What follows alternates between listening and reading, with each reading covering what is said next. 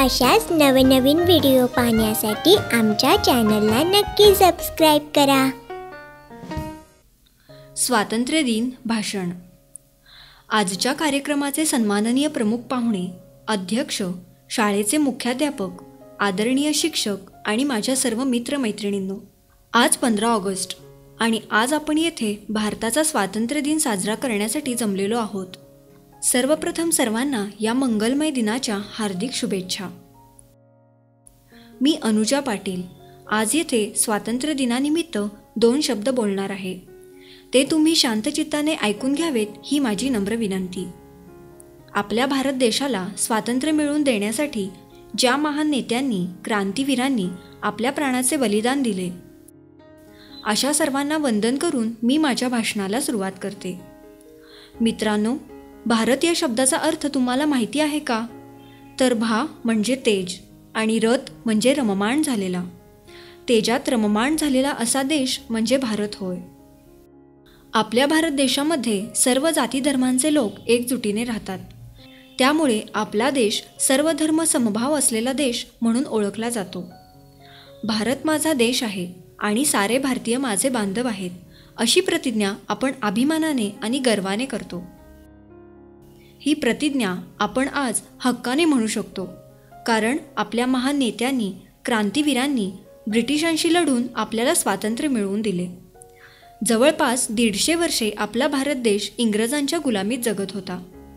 सर्व भारतीय इंग्रजांच्या अन्यायाने त्रस्त झाले होते. या अन्यायाच्या अत्याचाराच्या विरोधात लोकमान्य टिळक महात्मा गांधी पंडित जवाहरलाल नेहरू भगतसिंग चंद्रशेखर आझाद सरदार वल्लभभाई पटेल वीर सावरकर डॉक्टर बाबासाहेब आंबेडकर अशा अनेक शूरवीरांनी आपल्या प्राणाचे बलिदान दिले. आणि अखेर पंधरा ऑगस्ट एकोणीसशे सत्तेचाळीस रोजी भारत देश स्वतंत्र झाला. तेव्हापासून दरवर्षी पंधरा ऑगस्ट हा दिवस सर्वत्र आनंदाने उत्साहाने साजरा केला जातो. अशा शूरवीरांच्या या कार्याला आपण कधीच विसरू शकणार नाही. म्हणून पंधरा ऑगस्ट सव्वीस जानेवारी हे उत्सव आपल्याला अशा शूरवीरांची आठवण करून देतात. आज सर्व शहरात तालुक्यात गावागावात ध्वजारोहण केले जाते. राष्ट्रगीत गायले जाते. भाषणे प्रदर्शने प्रभात फेरी यांचे आयोजन केले जाते. आपण सर्वजण खूप नशीबवान आहोत की स्वतंत्र अशा भारत देशामध्ये आपण जन्माला आलो आहोत. त्या शूरवीरांच्या बलिदानामुळेच आपण आज शांत आणि सुंदर आयुष्य जगू शकत आहोत. आजचा हा सुवर्णकाळ आपण इतक्या आनंदाने उत्साहाने साजरा करत आहोत. कारण आपल्या देशाचे वीर जवान तिकडे सीमेवरती स्वतःचा जीव धोक्यात घालून शत्रूंशी सामना करत आहेत. या सैनिकांना माझा सलाम.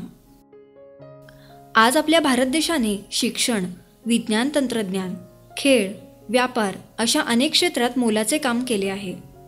दिवसेंदिवस देश प्रगतीपथावर जात आहे. परंतु समाजात गुन्हेगारी भ्रष्टाचार गरिबी आणि अस्वच्छता यांचे प्रमाण वाढत आहे. भारताचे एक नागरिक म्हणून देशाच्या विकासासाठी आपण प्रयत्न केले पाहिजेत. वाईट लोकांपासून आणि वाईट गोष्टींपासून आपण देशाचे संरक्षण केले पाहिजे. सर्वांनी एकत्र येऊन एकजुटीने काम करून भारत देश जगातील सर्वोत्कृष्ट देश बनवणे हे आपले कर्तव्य आहे. शेवटी मी एवढेच म्हणेन की अनेकता में एकता ही हमारी शान है इसीलिए मेरा भारत महान है।